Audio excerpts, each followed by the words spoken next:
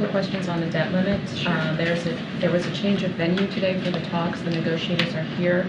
Can you uh, tell us if the president perhaps might have dropped in? um, And why are the negotiators meeting here versus Capitol Hill, where they've been meeting since the beginning? So as you know, as you just stated, Darlene, they've been meeting for, since the beginning uh, at, at, on Capitol Hill. We truly appreciate uh, the speaker's hospitality uh, for those uh, important uh, negotiation, budget negotiations, and we tell, we just felt it was time uh, for a change. Uh, I wouldn't read too much into the change of venue, but we are glad to be hosting the negotiators here.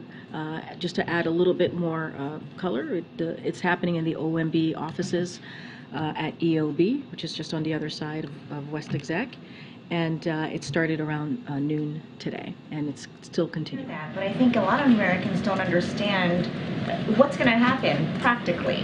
Can you help us understand that? So look, here's the thing. This is why we have said uh, this is would be catastrophic to our economy if there is a default. We've been very clear. We've laid out what could potentially happen. Remember, this would be our first ever default. If it were to happen, we were going to do everything that we can to avoid this. That's why we've been asking for Congress uh, to act. But a couple of things that we would that this would lead to. It would wipe out millions of jobs, up to 8 million jobs. Uh, it would trigger a recession.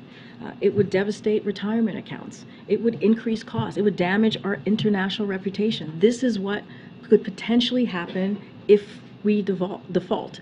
Again, we are not a deadbeat nation. That's what the president has said. We have been able to pay our debts since 1960. We did it 78 times. So, and that's just one part of what could happen. The other part that what could happen too is we could see the, the gains that we have made these last two years under this president. When you think about 12.7 million jobs, that could be gone. When you think about unemployment rate at the lows, at one of the lows that we have seen, 3.4%, that could hurt that. The manufacturing boom, the the 80,000 new jobs that we were able to create, with uh, manufacturing jobs, that could be gone. The 1.7 trillion dollars of deficit that the president was able to do the first two years, a record, that could be all gone. So that is what's at stake, and I believe, we believe the Americans, the American people understand that. And so we're going to do everything that we can uh, to, to make sure that that doesn't happen.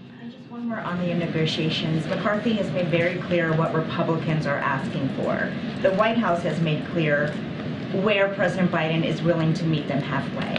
But what concessions are the White House trying to get in this deal? In other words, what are you going to get out of this deal other than raising the debt ceiling? So look, a couple of things, and I've said this, I think I said this yesterday, the president said this on Sunday, uh, not, certainly not going to negotiate from here, but I'll lay out a couple of things that the president has been very clear.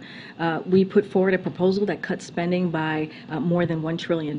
That's on top of what the president put in his budget on March 9th, uh, which is, uh, which is a $3 trillion cut in deficit over 10 years. And the president has made clear that uh, he and congressional Democrats cannot support devastating cuts that would slash uh, law enforcement, education, and food assistance. So we've been very clear on those pieces. We've said this over and over again. Can I also ask you um, about the, I mean, essentially the lack of a significant market reaction to these talks? There are analysts uh, out there who, who feel that a market reaction could actually serve as kind of a forcing mechanism to move the sides closer together. Ha, my, my question is, has the lack of a market activity maybe hurt your efforts, maybe hurt the White House's bargaining position, negotiating position? So I'll say this, I got to be very careful as we're talking about the markets here. I'm not going to speak about the markets reacting or moving. That is not something I'm going to do from here. What I know and what we believe is that the American people, they understand what's going on. They understand what's at stake. And so what we are going to do is focus on them. That is the most important thing here, making sure that American families uh, get what they need, right, to make the ends meet as they think about uh, as they think about what is it that there is needed in their household, right? Having those conversations, those really important conversations that many American families have uh, almost every month if some, some of them even more. And so that is our focus. We know, we know, I just, I just read out what could potentially happen. What could potentially happen if we default? Millions of jobs, you know, trigger a recession. We can't allow that to happen. This is why we're uh, continuing uh, to have these conversations, why the president has been very firm on how Congress needs to do their job and deal with the debt limit. But isn't the lack of a reaction uh, representative that, that Americans aren't as concerned as to the I'm things not you're laying out? speak- I- And I- Should that, does that hurt I you? appreciate the question. I'm just not going to speak uh, to the market. That is not something I'm going to do from here, from this podium.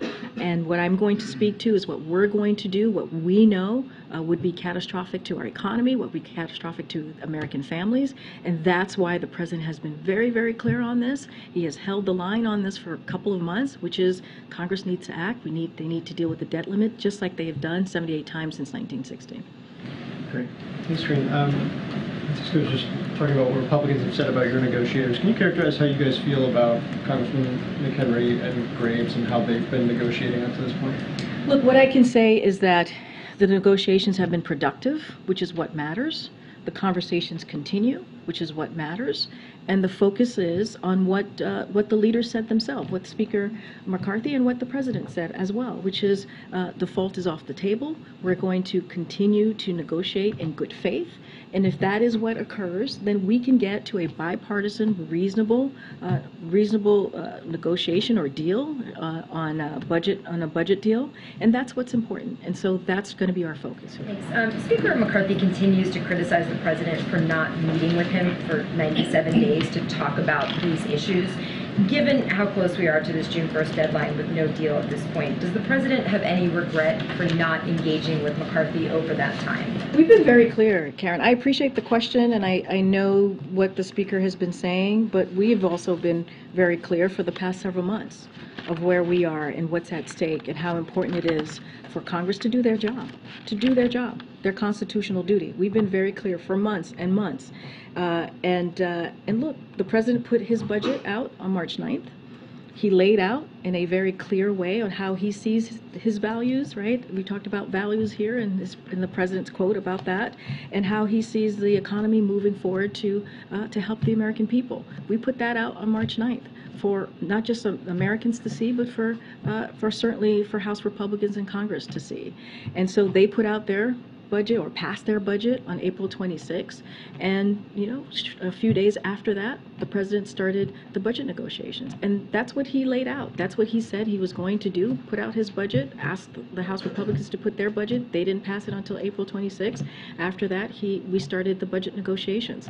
And so, again, been very clear about this. And at the same time, holding the line and saying how important it is for Congress to do their jobs, to do their constitutional duty. Treasury started reaching out to federal agencies to see if they can slide any payments uh, in early June, uh, which would effectively allow Treasury Secretary to push back the X date by more time. Has the White House at all been coordinating with Treasury on that? Is that something the White House want to see, that date moved? We're not coordinating with the Treasury Department. That is there for their, their decision to make. And then last one.